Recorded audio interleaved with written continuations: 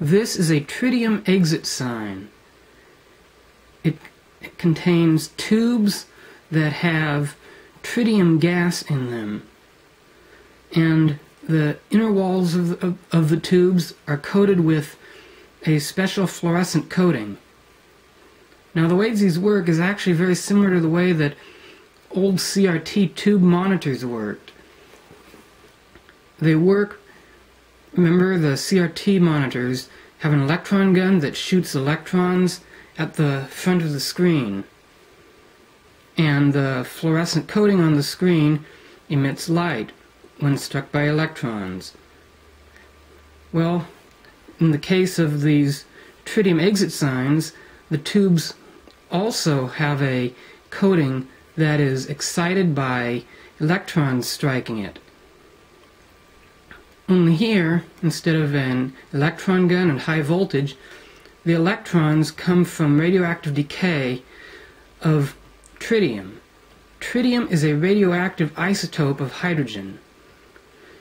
Each tube contains a small amount of tritium gas inside. And the decay, the radioactive decay, emits electrons known as beta particles. When these electrons strike the coating, they, the coating actually glows. I'm going to turn off the room light now. And you will see, hopefully, the glow. It's a green glow. And that is continuously being produced.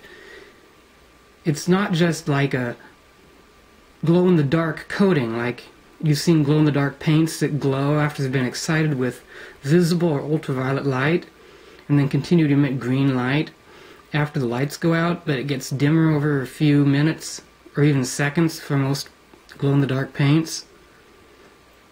No, this is different.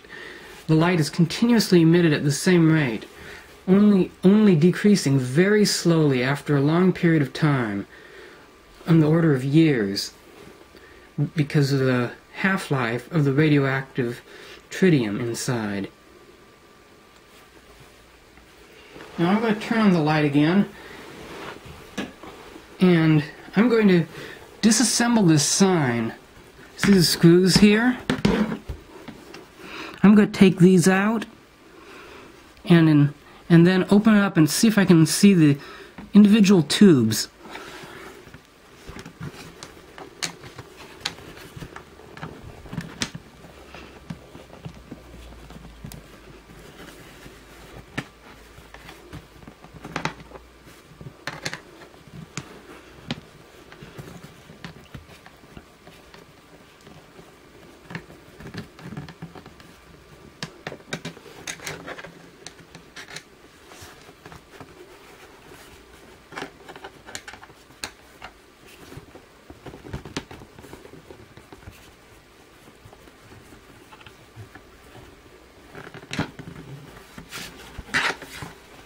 Okay, three screws out.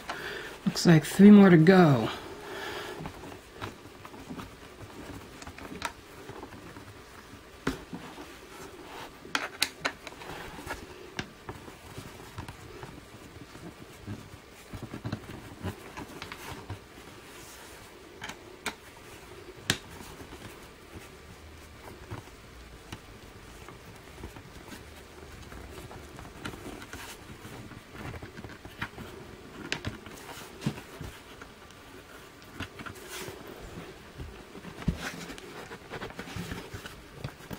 Still, there's something holding it in place. Can't figure out what it is. Is it glued in? As you can see, there's a label here. It has some information. It says radioactive, danger. But, but the thing is, the tubes are not actually dangerous. Beta radiation is actually very non-penetrating. Even a sheet of aluminum foil will stop a beta particle. And uh, these glass tubes are most certainly thick enough to stop a beta particle. Basically, no radiation will even escape from these tubes. The warning is like there just to be like extra secure, so if something happens, like you can't can't sue them because they follow all the regulations by putting the required warning label on their sign. So that if you like actually do somehow irradiating yourself, you can't sue the company because the exit sign does bear the proper warning labels. Hmm. No screws there. Thinking that that might have had some screws under that label there. Not the warning label, but some some other label here. It's not under that. Go take off that yellow warning label now and see there's anything anything under it. See if there's any screws under it. Because I've moved all the screws I could see and it and I still can't get it open.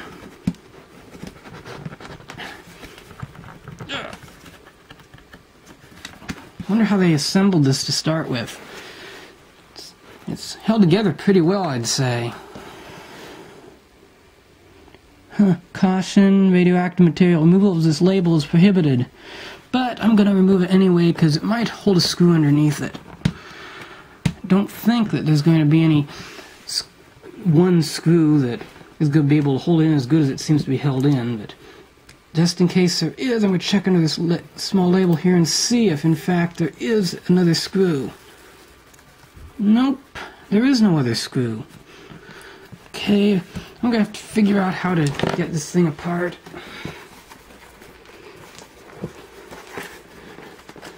Is it glued in or what?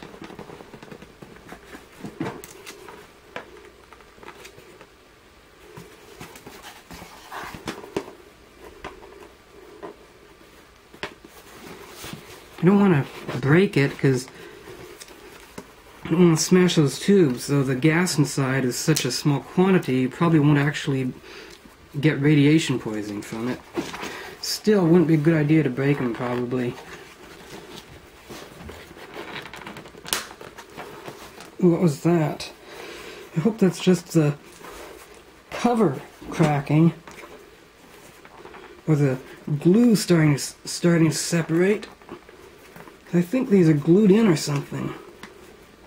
I mean, I think the cover's glued on, because removing all the screws didn't really help get this thing open. Even though I have removed what looks like all the screws.